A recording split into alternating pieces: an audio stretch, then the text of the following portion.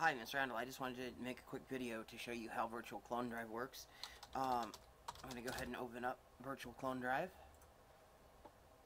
Uh, and so, yeah, I would take, uh, when you open up Virtual Clone Drive for the first time, I would remove Keep History of Recently Mounted Images just because it'll open these things up down here every time you turn on your computer, which I think is kind of uh, a pain. And, uh, yeah, that's it for that. And,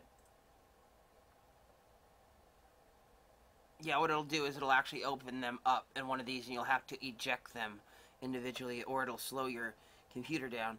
So how it works is you'll just go ahead and once you have it installed, you go ahead and click on the, uh, the file and right click and actually it'll just use the context menu here. Go ahead and mount the virtual clone drive and as you can see um, it now is treating this like it is a DVD. Um, so, just cancel. That's about it. Uh, if you have any questions, you can uh, either text me or send an email to d.graham0695 at edmail.edcc.edu.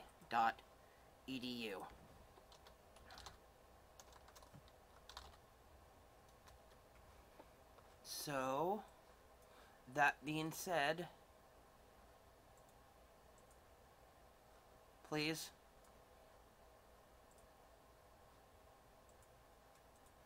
Enjoy.